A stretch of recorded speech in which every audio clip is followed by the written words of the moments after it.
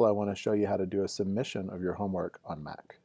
So you can see here in my temp filter program, I've got uh, my source directory, my updated readme.txt and CMake lists, and I have a couple of build directories that are just hanging around here. So I've already tested everything on my machine. It seems to be working fine, uh, but I'm ready to upload this to ECE3 to test it and then submit to D2L. So first I'm going to delete these two directories because I don't need to have these directories uh, in my submission. And then I'm going to rename temp filter to be my netid underscore temp filter. So now I'm ready to compress this file. I'm going to turn it into a zip file automatically, like so. So now I'm ready to take this zip file and upload it to test on ECE3. So I'm in the same directory here, print working directory and I'm going to use secure copy, SCP, to copy sprinkjm underscore tempfilter.zip to, to my username sprinkjm at ece3.ece.arizona.edu. And then I'm just going to copy it to my home directory. So this little tilde will copy it there. I won't have to type in my password here, but you will. So now I've securely copied this file to ECE3. I'm going to use SSH, secure shell, to, to log in to ECE3. So I'm going to specify my net ID at ece3.ece.arizona.edu. Again, you'll have to type in your password here, but I won't. So now I'm in my home directory, home slash sprinkjm. And if I look for sprinkjm, any files that start with sprinkjm, I see that I have my tempfilter.zip here. So I also have a folder called ECE275 that I created. And there's nothing inside of it right now. So I'm going to move sprinkjm tempfilter.zip to ECE 275. And now, if I look in the ECE 275 folder, I see that I have sprinkjm underscore tempfilter.zip. So now I'm ready to test. So I'm going to change directories with the cd command to ECE 275. And now in this directory, I can list all the files and see underscore tempfilter.zip. So in order to unzip this file, I'm going to use a special command called unzip. And I'm going to unzip sprinkjm underscore temp filter dot zip. And I see a bunch of files here that I will need as well as some files that I won't need. So I don't need that underscore underscore Mac OS X directory. I wouldn't worry about it for now. So cd sprinkjm temp filter. And this is now the same folder that I had access to on my own machine. So I'm going to run now exactly what the TAs will run when grading the code. Make dir build, cd build, cmake dot dot to make sure that cmake runs, and then make.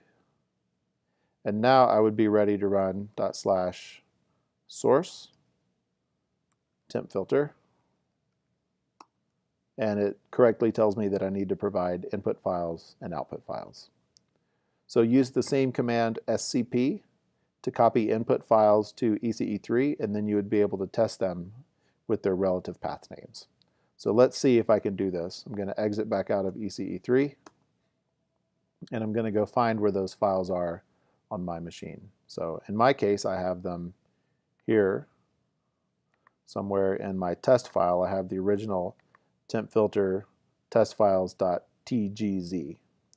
So I'm going to copy this file, use secure copy to copy this file um, to ECE3 so that I can use it there.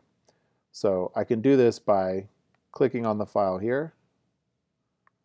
Actually what I'm going to do is I'm going to use um, cd to go to that directory first. So I'm going to change directories with cd and then I'm going to come over here to test, which is the folder that that's in.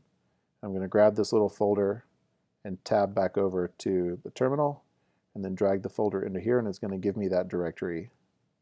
And I can just press enter and now I see that I have tempfilter underscore test files.tgz here. So now I'm going to use secure copy again, scp to copy temp filter underscore to sprinkjm at ece3.ece.arizona.edu. And again, I'm just going to, I could just copy this to my home directory what I'm going to actually do is go ahead and copy it to my ECE275 folder since I know it's already there on the remote machine. Again, you'll have to type your password here. If you don't have an ECE 275 folder, then this will just copy this file and name it ECE 275. So it'll be really confusing. So only do this if you have an ECE 275 folder. So now I'm going to SSH again to ECE3.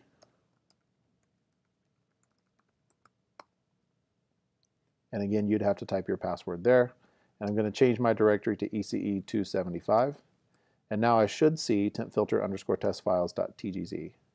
And it looks like I do. So to extract this on Linux, I'm going to use the tar program for tape archive. I'm going to extract a zipped file called tempfilter underscore testfiles.tgz. And now I should have a folder called tempfilter underscore testfiles as well, which I do right here. So now I'm ready to try to take some of these files in tempfilter underscore test files and pass them to my program. So my program is still located in sprinkjm underscore tempfilter. And then there's the build directory right where, I, right where I left it. So when we were last here, I tried source temp filter, and then it told me, oh, you need to pass the input file and the output file. So I know that the input file is somewhere up in this temp filter underscore test files directory, but I can't remember exactly where that is. I think it's somewhere up above me. So I'm going to list the directory above me. It's not there. I'm going to list the directory above that as well, dot dot slash dot dot. Now I see that temp filter underscore test files is here and now ls dot dot slash dot dot slash temp filter underscore test files. And now I see test file 1, test file 2, test file 3, test file 4, etc. So in order to run my program, dot slash source, temp filter, and then exactly this path that I had here, dot dot slash dot dot slash temp filter underscore test files and then the test file name that I want to run, test file 1, and then the output file name. So I can put the output file anywhere I want. I'll call it output 1. And then it's going to complain because I misspelled temp filger. That doesn't make any sense. So I'm going to press the up button on my keyboard to give me back the same command that I just tried. And back up here and just replace that G with a T. And now it's going to run, and I should be able to check my output file to see if the answers are correct. So assuming that this is correct now, and I didn't need to make any changes on ECE3, I'm ready to upload my zip file.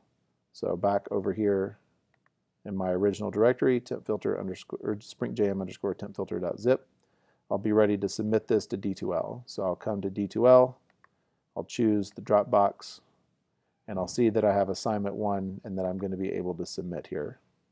So now I'm going to add a file to assignment one and I'm going to come back over to my folder, grab this file, which is the one I just tested on ECE3. Fortunately, I've uploaded 104% of that file. Strange. Uh, you must select at least one file. I don't know what that means. Let's try this again upload. That was really strange. So teaching source YouTube sprinkjm underscore temp filter. And I'm going to choose this file and I'm going to add it. Oh, there we go. So now it's added and then I'll submit. So now I've submitted my zip file. Hopefully everything will be fine. We'll see. So good luck everyone uh, in submitting your own files. Make sure you test them first because there's a pretty severe discount if your program doesn't compile on ECE3.